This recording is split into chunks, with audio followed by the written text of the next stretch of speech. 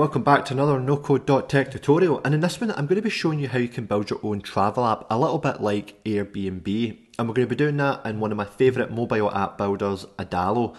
Now this is going to be a little bit different from some of the other builds you've seen in terms of complexity. This is by far one of the most complex builds that we've got on the website and it's not necessarily that it's hard um, or difficult, it's more just that there's a lot to do, um, and that's because we're creating a two sided marketplace. Um, we're going to have the ability for guests to come in and book an apartment, browse an apartment, pay for an apartment, and we're also going to have the ability for hosts to upload an apartment and manage their bookings. So it's a little bit more complicated than most, and um, in theory, you could split this into two different apps, have one for guests, have one for hosts, but I quite like having it all in one, although we do have other videos on that if you want to learn how to do it. Now, a couple other things to mention. Um, number one, this is this is one of the first tutorials that I've seen um, building Airbnb on Adalo, and that's not necessarily because it is um, difficult per se but it's because there's a couple of key limitations that make it pretty hard to build the exact replica of Airbnb that you know and love. So if I come on here to my app, now this is just a basic screen where I can pick, um, you know, the different apartments I want to stay at. Clearly, it's a search for London, and then we've got these two uh, apartments here. I know it's not the prettiest design. Um, I'm certainly not a designer, um, and didn't want to spend too much time on that. But we do have uh, videos that will teach you how to make Adalo look beautiful. But if I pop in here and hit book stay let me show you the first limitation. Um, now, on a little screen like this, you would expect to be able to see um, you know, all the dates that are available. Because there's nothing crossed out here, you would expect that I can hit 1, I can hit 29, and that will let me select those dates. Similarly, if I click through to May, where I've already put in a booking, I've got this little line here that might indicate these dates are already taken. Well, in actual fact, um, Unfortunately, this calendar component will not let me select dates. If I try and click them, I just get this agenda view. And so instead, what I have to do is let the user see the availability manually by looking here. And then I need to ask them to actually put in the specific days that they want. Now, you'll notice the dates that were picked were the 15th through to the 29th of May 2021 and uh, that's what I've currently got selected. If I hit select dates and come in here, it's not going to stop me trying to book. I'll be able to come right into this card number part, uh, part here and uh, put in whatever I like. So that's a little bit of a problem, um, and I'm going to resolve that in this app build by making sure that the host has to manually approve um, every selection that goes through. But I can't lie, that is a pretty big limitation, um, and it's caused by a couple of things. Number one, the calendar component doesn't support the ability to create events within it, um, and number two, and perhaps more importantly, Adalo um, doesn't currently have a way that I can search within date limits, and what I mean by that is um, I have a database collection called Stays, which refers to um, the beginning and end date of each booking. And what I cannot do is search that entire database at once to say, okay, has anybody booked between the 15th of May and the 29th of May for this database, uh, sorry, for this apartment?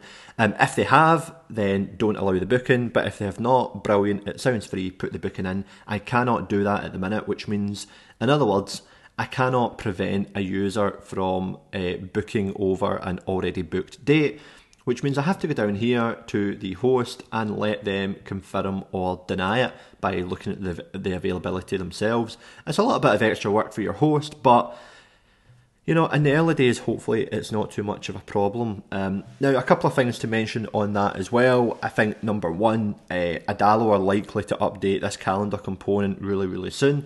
I know that Adalo themselves were working on a template for Airbnb, and so likely they've run into this issue, and I imagine it's pretty high on the list to fix.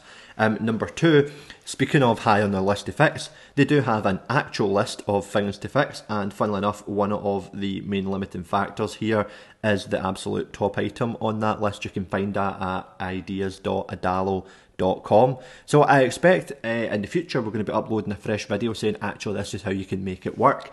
Um, and then one last thing to add on that in general, with no code, there is always going to be a way to make this work. For example, you could use an external database like Airbnb, uh, sorry, Airbnb, like Airtable, um, to host your uh, dates information, and then you could use a service like Zapier to query that and do the search you need to do.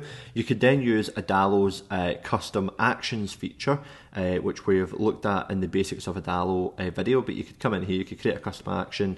Um, that essentially sends an API call off there and does a bunch of other complicated stuff to get the dates.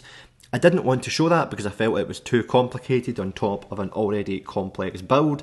But the key message here is that ultimately it may seem restrictive, and, and in some respects, no code is about caveats and about um, finding uh, you know the, the best way through uh, limitations. But ultimately, there is always a way to do something. It's just a matter of how advanced you are and how complex you want to get. Now, if you are, uh, you know, fairly technical and pretty comfortable with no code, you might already be thinking about different ways you could do this. And if you really need this functionality, give me a shout and I'll talk you through how I would do it in a more complex way. On the other hand, um, if you're still very, very new to no code, it might not be the best challenge to dive into. You maybe want to stick with the same kind of model that I've built here. So we'll go ahead and get started anyway. Um, let's just crack open our uh, new app. So I'm going to click up here and I'm going to scroll down and hit create new app. I know you can't quite see that um, just because I've got loads of apps that I've created on Adalo. Um, but I can come in here, I can hit native mobile app. And I'm going to just select a blank template again. You do have lots of templates in here. Um, I'm not too fussed about those, and I'm going to type in Airbnb. Now you always know it's a complex build when I've got lots of tabs open uh, across the top here, and the first one I want to show you is this website here. It's called US Brand Colors, and it's a pretty handy website which has the brand colours of US companies. So um, I came in here just to find the, the kind of primary and secondary colours for Airbnb, and I can get the logo here as well. But um, excuse me, you've got this. Uh, little colour here called Rausch. Rausch, maybe, I'm not sure. Um, but I can copy that hex code. I'm going to put it in here as my primary colour, and that means I'm going to get that nice kind of almost pinkish uh, Airbnb red. And then I'm going to come and grab Babu, which is this green here. So I'm just copying and pasting that with Control C, uh, and then pasting it, sorry, with Control V in here. So we've got Airbnb's primary colours. Uh, what mean what this means in, in Adalo is essentially I can stick to the, the colour theme pretty easily. You can see it's immediately styling the top bar, the login button, the sign up button, etc. Um, with uh, with the primary colour, and it will use those throughout. At any point, you can pop in here to branding and change those as well. Now. One other thing uh, to mention here on our overview, uh, we're going to be using a couple of external components. So if I go up here to add components, Adalo has this really cool uh, place called the marketplace. And if I load it up, essentially it is going to let me install various different plugins and add-ons to my uh, Adalo instance or my Adalo account. There's a few that I'm using. You can see they're marked as uh, installed. So we're going to need the map.